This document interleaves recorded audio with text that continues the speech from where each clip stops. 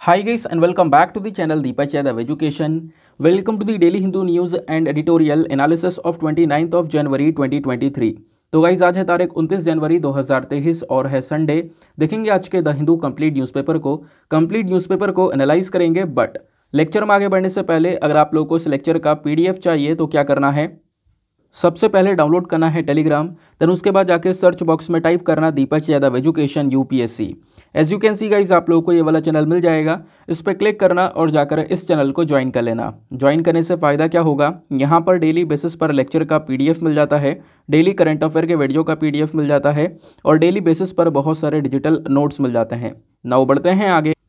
आगे बढ़ने से पहले हमेशा की तरह हम लोग अपने लेक्चर को एक मैप के क्वेश्चन के साथ स्टार्ट करेंगे। तो आज आप सभी लोगों को मैप में जाकर देखना है मजूली आइलैंड को।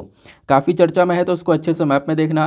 देन उसके बाद आकर नीचे कमेंट सेक्शन में टाइप करना, जिससे कि आप लोग इसको लंबे समय तक याद रख पाओगे। साथ ही साथ एक क्वेश्चन सॉल्व करेंगे, जो कि यूपीएससी प्रीवियस ईयर साल दो हज़ार नौ के प्रिलिम्स में पूछा गया था। डेली बेसिस पर हम लोग यहाँ पर एक प्रीवियस ईयर क्वेश्चन को भी सॉल्व करते हैं। क्वेश्चन बहुत सिंपल सा है। क्या बोलता है? In the structure of planet earth, below the mantle, the core is mainly made up of which one of the following. देखो, जो अर्थ का स्ट्रक्चर है ना पृथ्वी का, इसको जब आप अंदर से देखोगे तो अलग अलग लेयर्स प्रेजेंट आपको देखने को मिलेंगी। जैसे आपने देखा होगा क्रस्ट सुना होगा मेंटल के बारे में, फिर उसके बाद में कोर के बारे में सुना होगा। तो पूछा यह जाता है कि मेंटल के बाद जो बिल्कुल अंदर वाली लेयर है कोर जिसको हम लोग बोलते हैं, ये किस चीज़ से बनी हुई है, ये आपको बताना है। Option A aluminium option B chromium option C iron या फिर ऑप्शन डी सिलिकॉन तो इसका सही आंसर आप सभी को नीचे कमेंट सेक्शन में देना है। एटलीस्ट सभी को इसमें पार्टिसिपेट करना है, जैसा मैं आप लोगों से डेली बेसिस पर बोलता हूँ। बाय द वे इसका जो करेक्ट आंसर है वो मैंने आपको टेलीग्राम पर प्रोवाइड करवा दिया है, वहाँ से भी चेकआउट कर सकते हो। और अगर वहाँ पर आंसर नहीं मिलता है तो भी कोई परेशान होने की ज़रूरत नहीं है वीडियो के लास्ट में इसके करेक्ट आंसर का डिस्कशन हम लोग करेंगे। तो चलो शुभ शुभारंभ करते हैं, और जो आज का थंबनेल वाला आर्टिकल है, इसको हम थोड़ी देर में डिस्कस करेंगे। वहीं पर मैं सारी चीज़ें कवर करवा दूँगा, आखिरकार इशू क्या है। और इस क्वेश्चन का, जो क्वेश्चन आपसे पूछा गया है ना इसका आंसर भी मैं अभी आपको थोड़ी देर में ही दे दूँगा। लेकिन उससे पहले आपको पता होगा, कल हमारा द हिंदू का जो वीडियो है, वो मैं अपलोड नहीं कर पाया था तो कल कौन कौन थे जिन्होंने यहाँ पर कल का वीडियो मिस किया है? मैंने भी यार बहुत मिस किया, लेकिन मतलब ऐसा था कि मैं वीडियो रिकॉर्ड कर ही नहीं पाया। हेल्थ इश्यूज़ इतने सारे थे कि मतलब वो लेक्चर रिकॉर्ड हो ही नहीं पाया। और एक प्रॉब्लम ये हो रही है आजकल द हिंदू न्यूज़पेपर के अंदर में कि वो बहुत लेट पब्लिश हो रहा है। इवन आज आप देख पाओगे एनालिसिस लेट अपलोड हो रहा है तो अपनी थोड़ी सी हैबिट बना लो यार, क्योंकि ऐसा ही चलता रहेगा तो एनालिसिस नौ बज जाएँगे, साढ़े नौ बज जाएँगे, इसी टाइम पीरियड के अंदर अपलोड होगा। तो थोड़ा सा शेड्यूल अपने आप का रीएडजस्ट कर लेना, और सभी के साथ में ये होगा, सभी ये प्रॉब्लम फेस करेंगे, क्योंकि द हिंदू का न्यूज़पेपर बहुत लेट पब्लिश हो रहा है इवन आज भी मॉर्निंग में छः बजे पब्लिश हुआ है। बैठे बैठे इंतज़ार करते करते देखते देखते पता ये चलता है यार लेट पे लेट होता जा रहा है, फिर उसका छः बजे पब्लिश हुआ। और पिछले एक सप्ताह में हम देखेंगे तो छः बजे ही पब्लिश होता हुआ नज़र आ रहा है। बाकी मैं अपनी कोशिश करूँगा, कुछ वेबसाइट वगैरह से पढ़ने की कोशिश करूँगा। तो मेरी कोशिश यही रहेगी कि मैं जल्द से जल्द इस वीडियो को लेकर आ जाऊँ। आपके पास में नौ बजे से पहले पहले यहाँ पर मैं इसको अपलोड कर दिया करूँ, रोज़ाना के बेसिस पर। बाकी वीडियो भले ही हमारा थोड़ा देर से मिले, लेकिन यहाँ पे आपको क्वालिटी कंटेंट मिलेगा, उस चीज़ की ज़िम्मेदारी मैं लेता हूँ। है ना? सारी चीज़ों को कवर करने की कोशिश मैं करता हूँ, आपको पता होगा with the proper background information चलो फ़िलहाल स्टार्ट करते हैं। पेज नंबर वन पर हमारे पास में आता है ये वाला आर्टिकल ये आर्टिकल काफ़ी ज़्यादा रेलिवेंट है। इसको हम कहाँ पे लिंक करेंगे? तो जीएस पेपर नंबर वन के अंदर आर्ट एंड कल्चर में इसको बहुत आराम से लिंक किया जा सकता है। हुआ क्या है? देखो, एक न्यूज़ निकल कर आती है इस टेंपल की। ये जो टेंपल आपको दिख रहा है ना, इसका नाम है जतर देओल टेंपल ये टेंपल एलेवेंथ सेंचुरी का है। शिव जी को डेडिकेट किया गया तो एक शिव मंदिर है यह शिव टेंपल है। कहाँ पर है? वेस्ट बंगाल के साउथ ट्वेंटी फोर परंगास पर। सॉरी परगनास पर। ठीक है?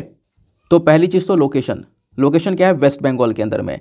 और ये कौन सा टेंपल है? जतर देवर टेंपल कहा जाता है, जो शिवजी की जटाधारी जटाएँ हैं, वहाँ से ये नाम लिया गया है और नाम रखा गया है जटर देओल टेंपल ठीक है? बहुत पुराने समय को बिलोंग कर, आप देखो एलेवेंथ सेंचुरी का ये टेंपल है। एक टेराकोटा टेंपल है वेस्ट बंगाल के सुंदरबन वाले एरिया के अंदर ये स्थित है। पिछले कुछ समय से तो देखो इस प्रकार से टेंपल बना हुआ है, लेकिन अब कुछ मॉडर्न थ्रेट्स इस टेंपल को देखने को मिल रहे हैं, यानी कि कुछ नई नई प्रॉब्लम्स यहाँ पे इस टेंपल पर आ रही हैं, जैसे कि सी विंड क्योंकि यहाँ पर इस टेंपल से जस्ट थोड़ी सी दूरी पर समुद्र स्थित है। तो समुद्र से जो हवाएँ बहती हैं ना, उस हवाओं के अंदर में कुछ सॉल्टीनेस है, यानी खारापना है उस हवा के अंदर में। और उस हवा का जो प्रभाव है इस टेंपल के ऊपर बहुत ज़्यादा पड़ा है इवन आप देख पाओगे इस प्रकार से पड़ा है कि इस टेंपल की जो ब्रिक्स हैं, जो ईंटें हैं, वो गलने लगी हैं, वो ख़राब होने लगी हैं, ख़त्म होने लगी हैं। तो ये एक सबसे बड़ा, आप कह सकते हो थ्रेट है इस टेंपल को, जिसके बारे में चर्चा की जा रही है। इसी वजह से यहाँ पर इसकी हेडिंग भी दी गई है sea winds erode Sundarbans temple तो यहाँ पर जो मंदिर है ना, इसकी जो ईंटें हैं खासकर, वो पूरी तरह से ख़त्म होती जा रही हैं इस सी विंड की वजह से। पिछले कुछ सालों के अंदर में आप देखोगे, हमने नोटिस किया है, इस मंदिर की जो बाहर की ईंटें हैं आउटर ब्रिक्स आपको जो देखने को मिलेंगी, वो लगातार ख़त्म होती जा रही हैं इरोड होती जा रही हैं। और एरोड होने के पीछे का रीज़न यहाँ पर है सी विंड जो यहाँ पर हवा बह रही है, उसके अंदर खारापना है, यानी नमकीनपना आपको देखने को मिलेगा, जो कि कहीं ना कहीं इस हवा को इस टेंपल को पूरी तरह से डैमेज करती जा रही है। तो फ़िलहाल यहाँ पे जो आर्कोलॉजिकल सर्वे ऑफ़ इंडिया है, जिसका काम है हमारे सारे के सारे मोन्यूमेंट्स को रीस्टोर करना, उनको प्रोटेक्शन देने का काम करता है तो इन्होंने एक प्लानिंग करी है। इन्होंने ये बोला है कि हम इस टेंपल को थोड़ा बचा तो सकते हैं, लेकिन उसके लिए एक तरकीब अपनानी पड़ेगी। वो तरकीब क्या होगी कि काफ़ी सारी जो ईंटें हैं ना, वो अभी के समय पर बर्बाद हो चुकी हैं, ख़त्म हो चुकी हैं डैमेज हो चुकी हैं। तो हम क्या करने वाले हैं? एएसआई ने ये बोला कि हम उन ईंटों को, जो जो ख़राब हो चुकी हैं, उनको रिप्लेस कर देंगे नई ईंटों से। उसी साइज़ की ईंटें बनाकर उस जगह पर उसको लगा दिया जाएगा और वो जो ख़राब ईंट है उसको निकाल लिया जाएगा या जो ख़त्म हो चुकी है जो एरिया खाली हो चुका है, वहाँ पर वो ईंट लगा दी जाएगी सिमिलर साइज़ की। तो इस प्रकार से यहाँ पे काम करके हम उस टेंपल को वापस से रिनोवेट कर सकते हैं, उस टेंपल की मजबूती को बनाए, बनाया जा सकता है वापस से। फिर एक प्रॉब्लम यहाँ पर ये भी है, जो टेंपल है, काफ़ी ऊँचा है। 98 फीट ऊँचा ये पूरा टेंपल आपको देखने को मिलेगा। लेकिन अच्छी बात एक ये भी है कि देखो टेंपल तो ऊँचा है, लेकिन जो इरोजन हो रहा है ना, यानी कि जहाँ जहाँ पर ईंटें गलती हुई नज़र आ रही हैं, ख़राब होती हुई नज़र आ रही हैं, वो निचले हिस्से पर हो रही हैं। ऊपर वाले एरिया अभी भी मतलब सुरक्षित है, ऊपर वाले एरिया पे कुछ भी नहीं हुआ है। लगभग पंद्रह फीट की हाइट तक की जो ईंटें हैं, वो पूरी तरह से गल चुकी हैं, वो बात यहाँ पर बताई जा रही है। ये टेंपल एक ऐसे एरिया में स्थित आपको देखने को मिलेगा जहाँ पर आसपास कुछ भी नहीं है। लिटरली कुछ भी आपको नहीं देखने को मिलेगा। जस्ट थोड़ी सी दूर पर यहाँ पे समुद्र नज़र आएगा। वहीं से जो ये कोस्टल वेंट्स है, वो बहती हैं और वही यहाँ पर अपना खारापना लेकर आती हैं, जिसके चक्कर में ये जो टेंपल है, इसकी ईंटें गल रही हैं। अच्छा एक चीज़ और नोटिस की गई। नोटिस करने पे ये पता चलता है कि जो ये टेंपल आपको दिख रहा है ना, मैंने बताया कि ये बहुत ऊँचा है है ना? इसका जो निचला हिस्सा है केवल यही जो है डैमेज हुआ है, ऊपर यहाँ पे इसको अच्छी खासी प्रोटेक्शन दी गई है। तो एक सोल्यूशन यहाँ पे क्या भी है, क्योंकि यहाँ पर इसके आसपास पेड़ हैं। पेड़ की वजह से जो हवा है ना, वो सही से यहाँ तक पहुँच नहीं पाती। यानी कि जो पेड़ है, वो इस खारा वाली हवा का एक बैरियर बन जाता है। ऐसी हवा जिसमें नमकीन पना है, उसका बैरियर बन जाता है, इसको यहाँ तक सही से पहुँचने नहीं देता, ऊपरी साइड में। इस वजह से ऊपर वाला हिस्सा अभी भी काफ़ी अच्छी तरीके से बना हुआ है, उसमें कोई प्रॉब्लम नहीं आई है। निचले हिस्से तक हवा आराम से पहुँच जाती है, जो कि इसको पूरी तरह से डैमेज कर रही है। यह चीज़ भी आर्कोलॉजिकल सर्वे ऑफ़ इंडिया ने नोटिस की है। अब देखते हैं इसको किस प्रकार से प्रोटेक्शन दी जाएगी। इनकी प्लानिंग वही है जो मैंने आपको बताया। जो पुरानी वाली, जो ख़राब वाली ब्रिक्स हैं, उनको बदल देना नहीं से। तो ये देखते हैं किस प्रकार से इम्प्लीमेंट किया जाएगा। ये बात क्लियर हो गई। आओ थोड़ा सा टेंपल के बारे में बैकग्राउंड इन्फॉर्मेशन देखते हैं। विकीपीडिया पर और भी कुछ वेबसाइट्स पर कुछ इस प्रकार से चीज़ें मैंशनड है। मैं आपको बता देता हूँ। जतरदेवल जो टेंपल है ना, यहाँ पर अभी भी जो इसका इतिहास है, वो सही से सुलझा हुआ नहीं है। मतलब इतिहास आप देखोगे तो अभी भी यहाँ पर काफ़ी सारी चीज़ों को लेकर क्लैरिटी हमें मिल ही नहीं पाई है। वेस्ट बंगाल में टेंपल है ये, है ना? लेकिन आप देखोगे, यहाँ पर इस टेंपल के अंदर कोई भी बंगाल ट्रेडिशनल स्ट्रक्चर नहीं फॉलो किया गया है। जो बंगाल टेम्पल्स हुआ करते थे पुराने ज़माने के एंशंट समय के, वो चीज़ें यहाँ पर नहीं फॉलो की गई हैं। जो आर्किटेल आर्किटेक्चरल स्टाइल आपको इस टेंपल का देखने को मिलेगा, वो है ओडिया स्टाइल यानी ओडिशा वाला जो स्टाइल है ना ओडिशा के अंदर जो टेम्पल्स हैं, जो वहाँ पर स्टाइल यूज़ किया जाता है, जैसे कलिंग आर्किटेक्चर का यूज़ किया जाता है, उसी स्टाइल में ये टेंपल बना हुआ है, ऐसी बात बताई गई। दूसरा, ये टेंपल बहुत लंबे समय से दिखाई नहीं पड़ा था, लेकिन बहुत मतलब कि इसको रिसर्चर्स ने बहुत समय बाद ढूंढा है और उसके बाद पता लगा है कि इसके आसपास एरिया खाली है। पूरी तरह से खाली है एरिया है, वहाँ पर इस टेंपल को कैसे बनाया होगा? दूसरा लोकल्स लोगों का मानना है कि देखो ये जो टेंपल है ना, ये शिव जी को डेडिकेट किया जाता है, जटाधारी शिव जी को, और इसी वजह से जो नाम है इस टेंपल का वो जतर देवल रखा गया है। जो प्रेजेंट डे पर, यानी कि आज के समय पर जो टेंपल ऐसी क्या स्थिति है? तो देखो, इस टेंपल को मेंटेन किया जा रहा है आर्कोलॉजिकल सर्वे ऑफ़ इंडिया के माध्यम से। वही इसका ध्यान रखना है। दूसरा इसके बारे में और जब बहुत सारी खोज की जाती है तो हमें यहाँ पर जगमोहन के बारे में पता चलता है, गर्भगृह के बारे में पता चलता है, ठीक है? जो हमारी ओडिशा के समय पर टेम्पल्स बनते हैं, जो ओडिया स्टाइल आर्किटेक्चर आपको देखने को मिलेगा ना, उसमें जगमोहन और गर्भगृह दो मेन चीज़ें टेम्पल्स के अंदर ये हुआ करती थी। तो यहाँ पर भी देखने को मिलेगा और प्रेजेंट समय में इस टेंपल के अंदर में बहुत सारी पिक्चर्स और साथ ही साथ में मूर्तियाँ देखने को मिल जाती हैं भगवान की, देवी देवताओं की बहुत सारी पिक्चर्स हैं, मूर्तियाँ हैं पूरे टेंपल के अंदर में, ये भी बताया जा रहा है। दूसरा, इस टेंपल के पास में एक मेला भी लगाया जाता है, साथ ही साथ में दूसरी एक्टिविटीज़ होती हैं, जैसे कि हॉर्स रेस, ठीक है ना? घोड़ों की रेस वगैरह भी करवाई जाती है तो हर साल सेकेंड डे ऑफ़ बैसाख, यानी कि खासकर अप्रैल के बीच के समय की बात की जा रही है। जो अप्रैल महीना है ना, उसके बीच के समय पर एक हॉर्स रेस, घोड़ों की रेस भी यहाँ पर करवाई जाती है। हॉर्स रेस यहाँ पे मंदिर से स्टार्ट होती है, यहीं मंदिर से, और घूम घुमा कर यहाँ पर मंदिर पर ही वो हॉर्स रेस अंत होती है। अब उसके बाद यहाँ पर एक मेला भी लगता है इस पूरे टाइम पीरियड के अंदर में, जो विलेजर्स हैं, आसपास के जो गाँव के लोग हैं, वो सब इस एरिया को विज़िट करते हैं, घोड़ों की रेस को भी देखते हैं। दूसरी एक्टिविटीज़ भी यहाँ पे की जाती हैं सिंगिंग डांसिंग जात्रा है ना? ये सारे काम यहाँ पर किए जाते हैं इस पूरे पर्टिकुलर टाइम पीरियड के अंदर में। तो ये मैंने आपको करंट सिचुएशन प्लस ये एंशंट पूरा का पूरा मामला क्या था, वो सब चीज़ें कनेक्ट कर कर समझा दी हैं। आगे आते हैं, अभी एक चीज़ और रह गई है। तो जब आप टेंपल के स्ट्रक्चर को देखते हो ना, जो ओडिशा स्टाइल के टेंपल आर्किटेक्चर थे तो यहाँ पर कलिंग आर्किटेक्चर आपको देखने को मिलेगा। ऐसे टेंपल हुआ करते। है ना? इस प्रकार का टेंपल आपको ये देखने को मिलेगा, जो अभी हमने देखा भी था। है ना? जतरा देवला। तो यहाँ पे आप देखोगे तो इस प्रकार से जो देवला है ना, ये ऊपर वाला जो पूरा का पूरा हिस्सा है टेंपल का, वो कहलाता है। है ना? इस प्रकार से आपको ऊपर ये हिस्सा दिख रहा होगा, इसको हम लोग बोलते हैं रेखा देवला। देवला तीन प्रकार के होते हैं। देखो, एक तो होता है यहाँ पर रेखा देवला और एक प्रकार का यहाँ पर होता है पीड़ा देवला और एक होता है यहाँ पर खाकरा देवला खाकरा देवला कहाँ पर होता है? जैसे आपने दूसरे टेंपल आर्किटेक्चर्स को पढ़ा होगा तो आपने गोपुरम के बारे में पढ़ा होगा। यानी जो मंदिर का मेन गेट होता है, मेन जो एंट्रेंस होता है, उसके ऊपर जो यहाँ पर बना हुआ है, वो यहाँ पे हमारा गोपुरम जो कहलाता है। ठीक है, यहाँ पर ये बेसिकली खाकरा देवला कहलाता है। किसके अंदर? कालिंगा आर्किटेक्चर यानी ओडिशा स्टाइल के अंदर में। तो रेखा देवला हो गया खाकरा देवला हो गया और पीड़ा देवला हो गया। तीन प्रकार के देवला होते हैं जो कि यहाँ पर इस प्रकार से टेंपल के ऊपर बनाए जाते हैं। दूसरा, गर्भगृह है। गर्भगृह आपको यहाँ पर देखने को मिलेगा। गर्भगृह क्या होता है? गर्भगृह बेसिकली आप कह सकते हो कि मंदिर में जो बिल्कुल बीच का हिस्सा होता है, जहाँ पर जो मेन भगवान होते हैं, उनकी स्थापना की जाती है। ठीक है ना? मेन भगवान आपको देखने को मिलेंगे। जैसे यहाँ पर आपने देखा होगा, ये मंदिर हुआ तो यहाँ पर बेसिकली जो बिल्कुल बीच में होंगे बिल्कुल सेंटर में भगवान बैठे होंगे तो यहाँ पर वो जो एरिया है ना, वो गर्भगृह कहलाता है, ठीक है? आई होप आपको ये बात क्लियर हो गई। और इस प्रकार से यहाँ पर आपको और भी स्ट्रक्चर्स देखने को मिलेंगे। ये भी यहाँ पर ओडिशा का स्टाइल का आर्किटेक्चर आपको देखने को मिलेगा। है ना? देवला क्या होता है, यह हम लोगों ने समझ लिया है। इस प्रकार से पूरा का पूरा जो टेंपल है, इसका आर्किटेक्चर देखने को मिलता है। तो आपसे क्वेश्चन यहाँ पर बन सकता है, इन तीन प्रकार के देवला का नाम ध्यान रखना। रेखा देवला, पीड़ा देवला और दूसरा यहाँ पर खाकरा देवला, ठीक है? आगे आते हैं।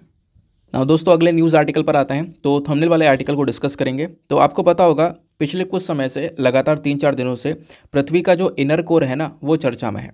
तो हम समझेंगे, क्या है ये पृथ्वी का इनर कोर जिसने घूमना बंद कर दिया है? क्योंकि रिसेंटली काफ़ी सारी रिपोर्ट्स पब्लिश हुई हैं। न्यू जियो साइंस के अंदर भी रिपोर्ट पब्लिश हुई, जहाँ पर बताया गया था 2009 एक ऐसा समय था, जब यहाँ पे पृथ्वी का जो इनर कोर है, इसने घूमना बंद कर दिया था।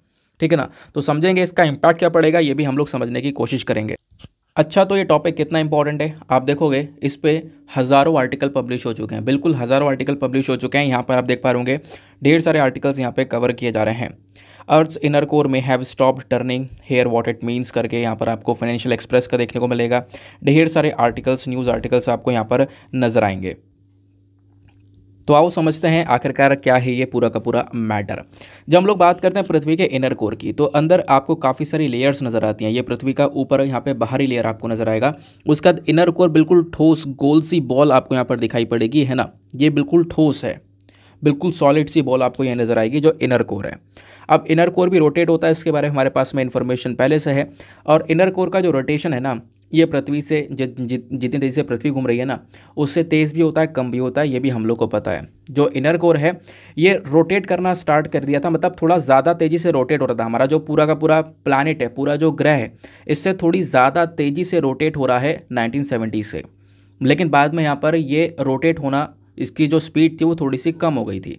और फिर 2009 में बताया जा रहा है कि एक समय के लिए ये जो पूरा बॉल है, ये रुक भी गया था, इसका रोटेशन रुक भी गया था। ठीक है ना? और अभी के समय पर ये थोड़ा आप कह सकते हो कि अपना अपोजिट साइड में रोटेट करना स्टार्ट कर दिया था। जो नेक्स्ट चेंज है, यानी कि हम पिछले कुछ समय ये देख रहे हैं कि हर बार कुछ ना कुछ बदलाव हो रहा है। कितनी बार बदलाव हुआ है? लगभग हर साठ से सत्तर साल के बीच में कुछ ना कुछ चेंजेस नज़र आ रहे हैं। कुछ ना कुछ यहाँ पे बदलाव हो रहे हैं अर्थ के इनर कोर के अंदर। कभी स्पीड ज़्यादा तेज़ हो जा रही है, कभी स्पीड कम है, या फिर आप कह सकते हो कभी यहाँ पर स्टॉप हुआ या रुक गया, और कभी यहाँ पर ये अपनी अपोजिट डायरेक्शन के अंदर घूमने लगा।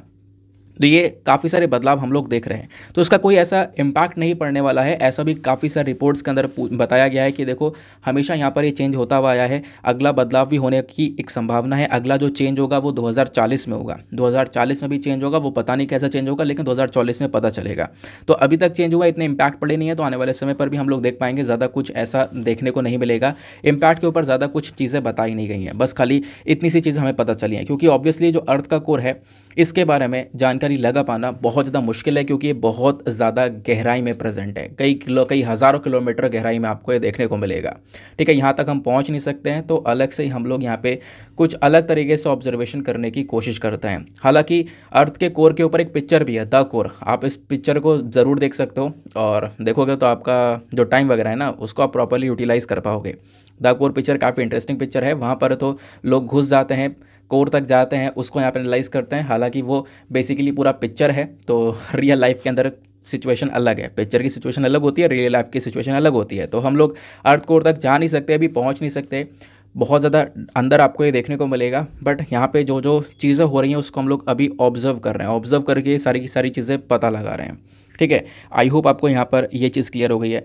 बट एग्जामिनेशन के लिए क्या पढ़ना होगा? एग्जामिनेशन के लिए आपको रोटेशन वगैरह के बारे में इतनी जानकारी नहीं लिखने रखनी है, क्योंकि रोटेशन की वजह से इनर कोर न्यूज़ में आया है। तो आपको पता होना चाहिए आखिरकार अर्थ का इनर कोर होता क्या है। मैं आपको एक पिक्चर दिखाता हूँ। ये वाला पिक्चर बेस्ट है। इस पिक्चर को देखोगे तो अर्थ के अंदर अलग अलग लेयर्स आपको देखने को मिलेंगे। एक तो होता है क्रस्ट क्रस्ट मतलब बिल्कुल बाहरी एरिया क्रस्ट के बाद इसके अंदर वाला यहाँ पर जो है, एक और मोटा सा एरिया है, वो है मेंटल मेंटल के अंदर आता है आउटर कोर यानी कि जो मेन कोर है ना, इसके भी दो कोर होते हैं. एक होता है आउटर कोर और एक होता है इनर कोर इनर कोर बहुत ज़्यादा सॉलिड होता है, ठोस होता है. आउटर कोर जो होता है, ये लिक्विड फॉर्म में होता है, ध्यान रखना. ये लिक्विड में होता है इनर कोर आपको सॉलिड में देखने को मिलेगा. ठीक है? बात क्लियर हो गई? आओ, थोड़ी सी बातें और जानते हैं. तो पृथ्वी के इनर कोर के बारे में और भी ढेर सारी इन्फॉर्मेशन हमारे पास में आप उसको यहाँ पे गो थ्रू कर सकते हो। ये सब कुछ मैं पीडीएफ में प्रोवाइड करवा दूँगा, आप लोग वहाँ से इसको डाउनलोड कर लेना, ठीक है? क्या बात की जा रही है? तो अर्थ का बिल्कुल इनर मोस्ट लेयर जो है ना, वो आपको यहाँ पे बिल्कुल जो अंदर आपको बॉल देखने को मिलेगी वही हमारा इनर कोर वाला, जो कि अभी हमने पिक्चर में देखा था। ये बेसिकली एक हॉट आयरन बॉल है, बिल्कुल बहुत ज़्यादा गर्म गर्म आयरन बॉल देखने को मिलेगी, जितना हमारा प्लूटो है ना। प्लूटो जो कि एक प्लानट था, अभी प्लानट की कैटेगरी में उसको नहीं रखा जाता है तो प्लूटो के साइज़ जितना आपको ये बॉल देखने को मिलेगा। जो इनर कोर है, इनर कोर है, वो बहुत ज़्यादा सॉलिड है, बहुत ज़्यादा ठोस आपको देखने को मिलेगा, क्योंकि इसके ऊपर जितनी भी लेयर्स हैं, उनका प्रेशर पड़ रहा है, उनके वेट की वजह से काफ़ी ज़्यादा ये आपको भारी देखने को मिलेगा सॉलिड देखने को मिलेगा, ठोस देखने को मिलेगा। हालाँकि आउटर कोर से थोड़ा सा अलग होता है। मैंने आपको बताया जो अंदर वाला कोर है इनर कोर जो है, ये बहुत ज़्यादा सॉलिड होता है। इसके बाहर भी एक कोर होता है आउटर कोर वो लिक्विड फॉर्म में होता है। वो लिक्विड फॉर्म में होता है। ठीक है ना? ये बात क्लियर हो गई। तो आप कहोगे, सर, इतनी सारी लेयर पड़ती हैं इनर कोर के ऊपर। तो ये घूमता कैसे? घूमता इसलिए क्योंकि इनर कोर के बाहर जो आउटर कोर है ना, वो लिक्विड फॉर्म में है। तो लिक्विड फॉर्म में है और अंदर वाला सॉलिड फॉर्म में है तो इसको काफ़ी स्पेस मिल जाता है आराम से इंडिपेंडेंटली स्पिन करने के लिए। आराम से यहाँ पर वो लिक्विड में फ्लोट करता रहता है। फ्लोट करते करते, तैरते तैरते वो यहाँ पर स्पिन करता रहता है इंडिपेंडेंटली अपने आप में यहाँ पर वो घूमता रहता है। ठीक है? बात क्लियर हुई? रफली बताया जा रहा है जहाँ पे हम रह रहे हैं, जो सरफेस है, पृथ्वी का जो सतह है, उससे पाँच हज़ार किलोमीटर नीचे जाओगे, अंदर जाओगे पृथ्वी के तो लगभग जो इनर कोर है वो यहाँ पर स्पिन करता हुआ नज़र आएगा, ऐसा यहाँ पर बोला जा रहा है, ठीक है? बाकी अंदर के टेम्परेचर की बात करें तो लगभग सात हज़ार दो सौ से लेकर आठ हज़ार पाँच सौ डिग्री फ़ारेनहाइट के आसपास, यानी सेल्सियस में बात करें तो चार हज़ार से लेकर चार हज़ार सात सौ फोर थाउज़ेंड से लेकर four thousand seven hundred degree Celsius के आसपास आपको जो टेम्परेचर है वो देखने को मिल जाएगा। इस वजह से हम उसको बिल्कुल हॉट एरिया कहते हैं। दूसरा अब हम लोग बात करते हैं अर्थ की, बाकी लेयर्स के बारे में। आपने कोर के बारे में तो समझ लिया। उससे ऊपर कौन कौन सी लेयर्स आती हैं? क्रस्ट आता है और मेंटल आता है। मैंने आपको बताया, सबसे पहली क्रस्ट है, उसके बाद मेंटल है, उसके अंदर आपको कोर देखने को मिलेगा। क्रस्ट की बात करते हैं तो हमारे पृथ्वी का बिल्कुल जो बाहरी वाला हिस्सा है, बाहरी वाला लेयर है, उसको हम लोग क्रस्ट बोलते हैं। ये सॉलिड रॉक वगैरह से मिलकर बना है, खास कर किस किससे बेसल्ट और ग्रेनाइट से आपसे क्वेश्चन बन सकता है कि क्रस्ट किससे बना है? तो मोस्टली बेसल्ट और ग्रेनाइट से बना हुआ है। फिर बात आती है मेंटल की। तो मेंटल यहाँ पे जस्ट क्रस्ट के नीचे प्रेजेंट है। तो यहाँ पे बोला जा रहा है कि जो मेंटल है, काफ़ी ज़्यादा मोटा लेयर देखने को मिलेगा, लगभग 2900 किलोमीटर थिक लेयर आपको ये देखने को मिल जाएगी। ये भी काफ़ी ज़्यादा गर्म है डेंस है। आयरन है यहाँ पर आयरन से मिलकर बनी हुई है मैग्नीशियम रिच सॉलिड रॉक देखने को मिलेंगे। ठीक है आयरन और मैग्नीशियम से भरे हुए मैग्नीशियम वाले सॉलिड रॉक से मिलकर यहाँ पे वो जो मेंटल है वो बनी हुई है। ठीक है, बात क्लियर हो गई। फिर उसके बाद में आता है मेनली हमारा कोर बिल्कुल लास्ट वाला, अंदरूनी हिस्सा। जो कोर है वो हमारे अर्थ के बिल्कुल सेंटर में आपको देखने को मिलेगा। ये दो हिस्सों से बना हुआ है। एक यहाँ पे इसका आउटर कोर है, एक इनर कोर है। मैंने आपको बताया, आउटर कोर लिक्विड वाला है, इनर कोर सॉलिड वाला। है ना? बिल्कुल गोल वाला जो है वो अंदर सॉलिड में सॉलिड वाला है, वो बिल्कुल अंदर प्रेजेंट है। जो आउटर कोर है वो निकेल से बना हुआ है, ध्यान रखना। निकेल आयरन और मोल्टन रोक से बना हुआ है। तो आपसे सवाल बन जाए कि कि जो कोर है वो किससे बना हुआ है? तो यहाँ पर निकल, आयरन, मोल्टन, रॉक। अगर ये तीनों ही चीज़ें ऑप्शन के अंदर प्रेजेंट है तो तीनों सही है। बाकी इनमें से यहाँ पर कोई भी प्रेजेंट होगा तो ध्यान रखना, वही आपका सही उत्तर होगा। तो ऐसे यूपीएससी ने साल 2009 में प्रश्न पूछा था। प्रश्न यहाँ पर यह था कि अर्थ के प्लानिट के स्ट्रक्चर को अगर हम देखें तो प्लानिट का स्ट्रक्चर जब देखा जाता है तो मेंटल के अंदर प्रेजेंट है कोर मेंटल के नीचे कौन सी लेयर है? कोर और कोर किससे बनी हुई है? आपसे पूछा गया। Aluminium, chromium, iron, silicon. तो इनमें से आपने कौन सा पढ़ा है? तो आपको पता है, आयरन मैंने अभी पढ़ा था। आयरन जो है वो सही उत्तर है। कोर किस किस से चीज़ों से मिलकर बना हुआ है? निकेल, आयरन और साथ ही साथ में मोल्टन रॉक। तो यहाँ पे निकल प्रेजेंट होता है तो आयरन और निकल दोनों सही उत्तर हो जाते हैं। लेकिन अभी के समय पर आयरन प्रेजेंट है तो दैट इज़ वाई यहाँ पर जो आपका ऑप्शन सी है, वो सही उत्तर है। ठीक है? बात क्लियर हो गई। तो ये था हमारा एक और न्यूज़ आर्टिकल नेक्स्ट आर्टिकल पर आते हैं। ना दोस्तों नेक्स्ट आर्टिकल पर बढ़ने से पहले मेक श्योर sure करना वीडियो पे जो लाइक का बटन है, उसको प्रेस कर देना। एक छोटा सा टारगेट है यार हमारा फाइव के प्लस लाइक्स का, जिसको आपने अचीव करवाना है। ठीक है ना? और करना है। अभी आपने यहाँ पर इतनी बात को सुना है तो फटाफट लाइक के बटन को प्रेस कर दो। अभी के अभी पाँच हज़ार हो जाएँगे। ठीक है? साथ ही साथ में आप मेरे साथ में इंस्टाग्राम पे कनेक्ट कर सकते हो। इंस्टाग्राम पे जाना। सर्च बॉक्स में टाइप करना। दीपा यादव एजुकेशन आपको ये वाला प्रोफ़ाइल मिलेगा। ग्यारह हज़ार से ज़्यादा लोग जुड़े हुए हैं। आप भी मेरे साथ में जाकर पर्सनली जुड़ सकते हो। और जो भी आपसे क्वेश्चंस पूछे जाते हैं ठीक है ना? उनका आंसर दिया करो। जैसे आपसे एक मैप का क्वेश्चन पूछा गया है मजोली आइलैंड उसको अच्छे से मैप में ज़रूर देखना, क्योंकि मैप बेस्ड क्वेश्चंस हर साल प्रेलिम्स के अंदर में आते हैं। तो डायरेक्टली आपके क्वेश्चन वहाँ से कवर हो जाएँगे। बात क्लियर हो रही है ना? चलो नेक्स्ट आर्टिकल पर आते हैं। तो फ्रंट पेज पर एक और आपको आर्टिकल देखने को मिलेगा। तो कल एक और डेवलपमेंट हुआ है, वो यहाँ पर यह है कि जो मुगल गार्डन है, मुगल गार्डन आपको जो देखने को मिलेगा, राष्ट्रपति भवन के बिल्कुल जस्ट सामने। उसका नाम बदल दिया गया है। मुगल गार्डन से अब उसका नाम हो गया है अमृत उद्यान। ठीक है, अमृत उद्यान यहाँ पर नाम रख दिया गया है तो ध्यान रखना इसके बारे में। ठीक है? तो राष्ट्रपति भवन का जो गार्डन है, जो कि मुगल गार्डन के नाम से जाना जाया करता था, इसका नाम कल के दिन बदल दिया गया। अमृत उद्यान के नाम से यहाँ पर इसका नाम रख दिया गया है। दूसरा बोला गया कि देखो, हम लोग अभी पिछहत्तरवा ईयर का सेलिब्रेशन कर रहे हैं, यानी पिछहत्तर साल हो चुके हैं देश की आज़ादी को हुए हुए। आज़ादी का अमृत महोत्सव का सेलिब्रेशन किया जा रहा है। तो प्रेसिडेंट ऑफ़ इंडिया ने यहाँ पर इस चीज़ का एक नया सा नाम जो है वो दे दिया है। तो अब यहाँ पर वो मुगल गार्डन की जगह अमृत उद्यान के नाम से जाना जाएगा। इस गार्डन को, अगर हम लोग इस गार्डन की हिस्ट्री देखें तो इसका इतिहास आपको देखने को मिलेगा। इसको डिज़ाइन किया गया था एडविन ल्यूटेंस के थ्रू अच्छा इसको मुगल गार्डन क्यों बोलते हैं? एक सेकेंड रुको। ये आपको वो गार्डन देखने को मिलेगा। ये राष्ट्रपति भवन है, सामने आपको इस प्रकार से ये पूरा गार्डन देखने को मिलेगा। इसको मुगल गार्डन क्यों बोला जाता है? बोला इसलिए जाता था, वैसे अब नहीं बोला जाएगा, क्योंकि आप देख पाओगे सब कुछ बदल चुका है। यहाँ पे नाम जो है, एक नई नई नाम प्लेट लग चुकी है, अमृत उदान के नाम से। ठीक है तो यहाँ पे ये गार्डन का टाइप है बेसिकली जो मुगल है ना, मुगलों ने बनाया नहीं है, वो मुगल गार्डन का टाइप है एक प्रकार का, है ना? जहाँ यहाँ पर टाइप के अंदर आप देखोगे तो इस प्रकार से गार्डन के अंदर बीचों बीच एक फाउंटेन नज़र आएगा। काफ़ी सारे अलग अलग प्रकार के वैरायटीज़ के जो फ्लावर हैं, जो फूल हैं, वो नज़र आएँगे। तो वो चीज़ यहाँ पे नज़र आती है। तो मुगल आर्किटेक्चर का एक प्रकार है, एक टाइप है ये। मुगल से नहीं बन, नहीं बनाया है, लेकिन इस प्रकार का यहाँ पर एक प्रकार देखने को मिलेगा। इसी वजह से यहाँ पर इसको हम लोग मुगल गार्डन के नाम से जाना जाते थे। तो बोला गया है कि इस पूरे गार्डन को डिज़ाइन किया था एडविन लोटेंस ने, ठीक है ना?